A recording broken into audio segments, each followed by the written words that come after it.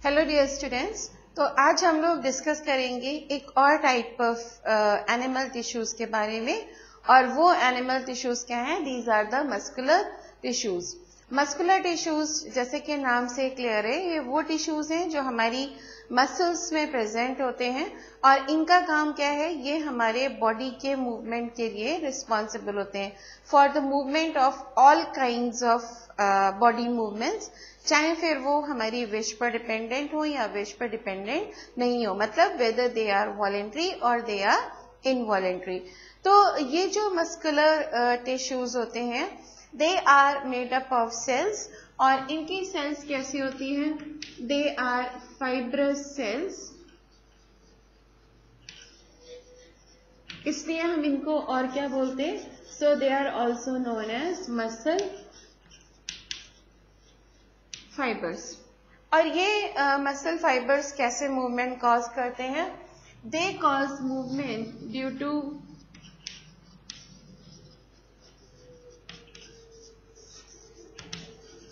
contraction and relaxation. इन muscle fibres में या मसल सेल्स में कंटिन्यूसली कंट्रैक्शन एंड रिलैक्सेशन चलता रहता है। इसलिए इनको हम और क्या बोलते हैं?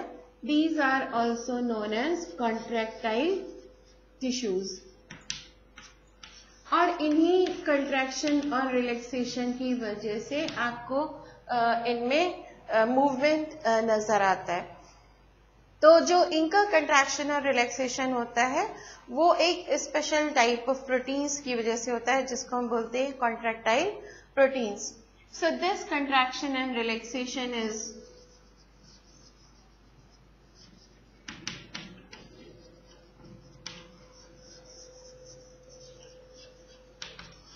is due to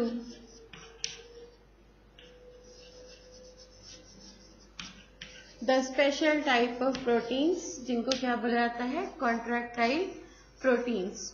और ये कॉन्ट्रैक्टाइल uh, प्रोटीन्स दो तरह के होते हैं। These are actin and myosin तो इन दो कंट्रैक्टाइल प्रोटीन्स की वजह से आपको मूवमेंट मिलता है कंट्रैक्शन और रिलैक्सेशन मिलता है मसल सेल्स में। और ये contraction and relaxation is responsible for the movement of limbs तो अगर हम बात करें यहाँ पर टाइप्स ऑफ़ कनेक्टिव टिश्यूज की तो ये थ्री टाइप्स के होते हैं। फ़र्स्ट हो गए स्ट्रिएटेड जिनको हम और क्या बोलते हैं स्केलेटल और they are also known as voluntary muscle fibres और मसल सेल्स तो वो मस्कुलर सेल्स जो हमारे वॉलेंट्री एक्शंस को कंट्रोल करते हैं, जैसे नाम से आपने देखा voluntary voluntary voluntary means they controller voluntary actions voluntary actions मतलब वो एक्शंस जो हमारी विश पर डिपेंड होते हैं, जिनको हम अपनी विल के अकॉर्डिंग कंट्रोल कर सकते हैं। तो इन मसल्स को क्या बोलते हैं? They are known as striated और स्केलेटल और वॉलेंट्री मसल्स क्यों बोलते हैं इनको स्ट्रिएटेड मसल्स क्योंकि अगर आप इनका स्ट्रक्चर देखिए तो इनकी सेल्स कैसी होती हैं? They are long cylindrical shape और इनमें ऑल्टरनेट डार्क और लाइट बैंड्स प्रेजेंट होते हैं। तो इन ऑल्टरनेट डार्क और लाइट बैंड्स की वजह से इनको हम क्या बोलते हैं? These are known as striated तो ये जो आपको ऑल्टरनेट डार्क और लाइट बैंड्स मिलते हैं, इनको क्या बोला जाता है? That is known as striations और ये सेल्स कैसी होती हैं? These are multi nucleate multi nucleate मतलब एक सेल में there are number of nucleus तो अगर आप इन मसल्स का स्ट्रक्चर देखो तो ये कैसी हैं? They are long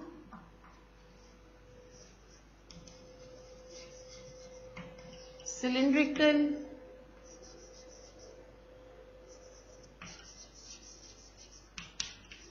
Striated. And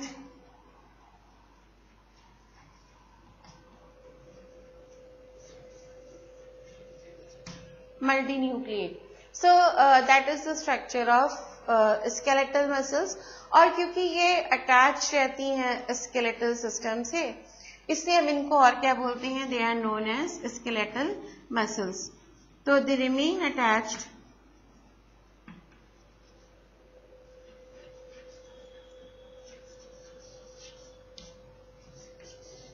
to the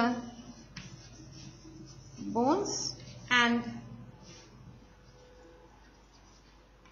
help in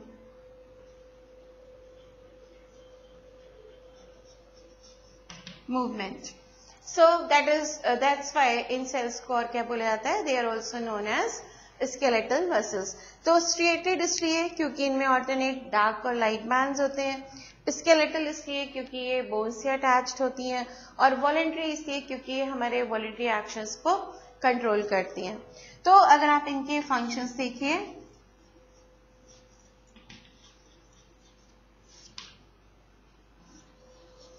तो इनका फ़ंक्शन क्या हो गया? They control the voluntary actions voluntary actions मैंने जैसे भी बोला, वो एक्शंस जो हमारी विश पर डिपेंड करते हैं। Voluntary actions like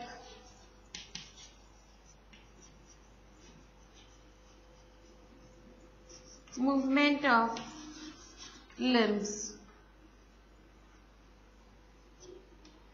मतलब हम अपने हाथ पैरों को चला पाते हैं, अपनी विश पे dependent so that's why they are known as voluntary muscles तो उन सारे पार्ट्स में आपको ये वॉलेंट्री मसल्स मिलेंगी, जहाँ पर होने वाले एक्शन कैसे हैं these are voluntary action right so these are the first type of muscle cells which you can find in animals and that is the skeletal और स्ट्रिएटेड और voluntary muscles second type of muscles are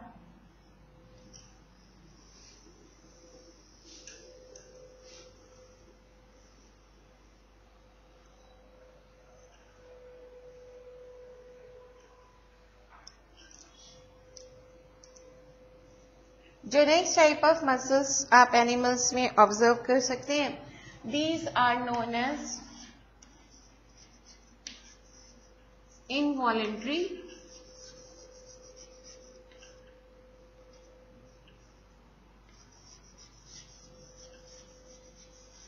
और smooth muscle fibres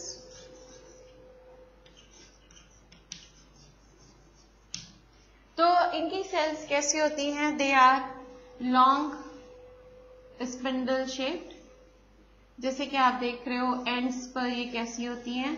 ends पर tapered होती हैं pointed होती हैं तो spindle shaped होती हैं। और इनमें किसी तरह के कोई स्ट्रिएशंस नहीं होते। इससे इनको बोला गया है अनस्ट्रिएटेड और स्मूथ मसल्स इनको और क्या नाम देते हैं? They are also known as unstriated और क्योंकि यहाँ पर किसी तरह का कोई स्ट्रिएशन नहीं होता, इससे दे आर स्मूथ मसल्स और एक सिंगल न्यूक्लियस होता है इन द सेंटर राइट तो अगर आप इन वॉलेंट्री मसल्स या स्मूथ मसल्स के फ़ंक्शंस देखो तो इनकी सेल्स जो हैं cells are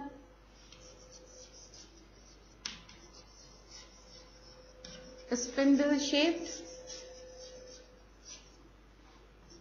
having no striations.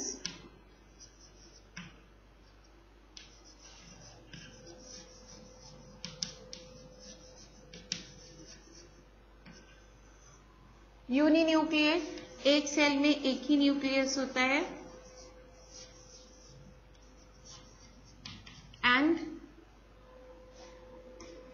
the nucleus is central ये न्यूक्लियस सेल uh, के सेंटर में प्रेजेंट होता है. So that is how the involuntary muscles और अनस्ट्रिएटेड मसल्स और स्मूथ मसल्स लुक लाइक इनके अगर आप लोकेशंस देखें सो ये बॉडी में उन सारे पार्ट्स में प्रेजेंट होती हैं जिनके फ़ंक्शंस हमारी विश पर डिपेंडेंट नहीं होते। तो वो कहाँ हो सकते हैं? They are present in oesophagus oesophagus means food pipe they are also found in sphincter muscles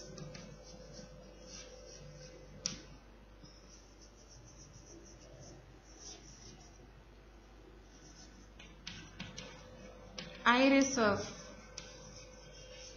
eyes right and अगर आप इनके फ़ंक्शन देखिए तो their function is to control all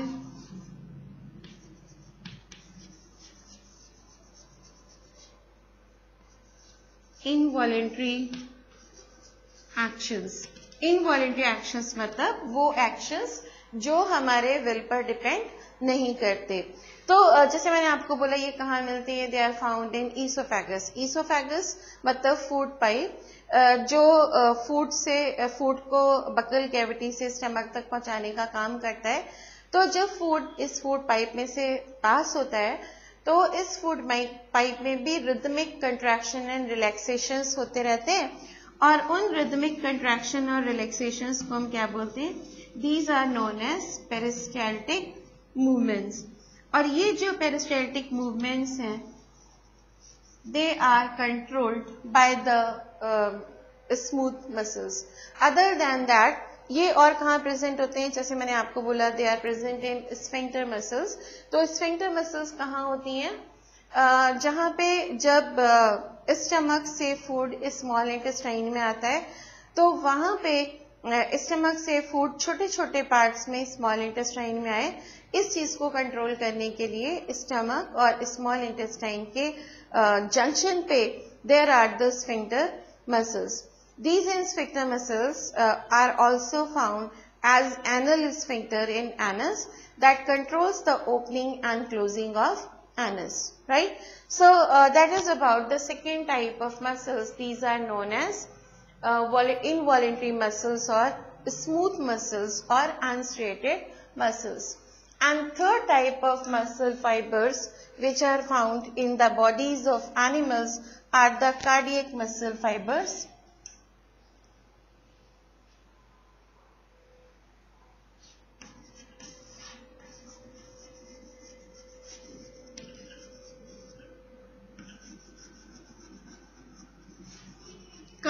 Muscles और cardiac muscle fibres as the name shows ये कहाँ होंगी of course they are found in heart और ये कैसी होती हैं?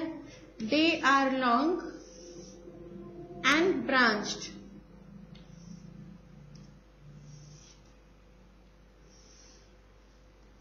इस तरह से इंटरकनेक्टेड ब्रांच्ड सेल्स होती हैं ये.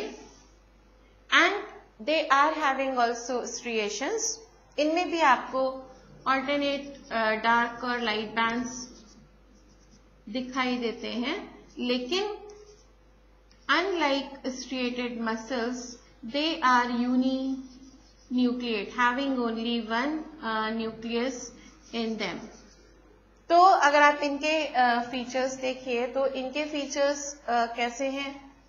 They are long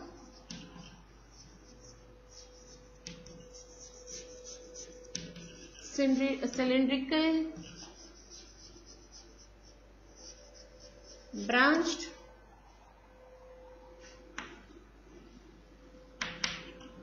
striated and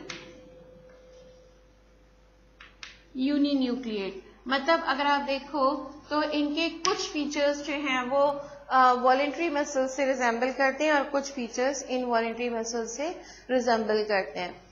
location इनकी कहाँ है? Again the name itself is self explanatory they are found in heart and अगर आप इनका फ़ंक्शन देखो so their function is to control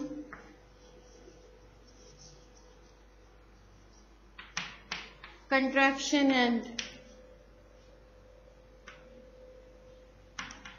relaxation of heart heart में जो कॉन्टिन्यूस कंट्रैक्शन और रिलैक्सेशन होते हैं, वो किन की वजह से होते हैं? They are because of cardiac muscles और इनका एक दूसरा important feature they work throughout the life through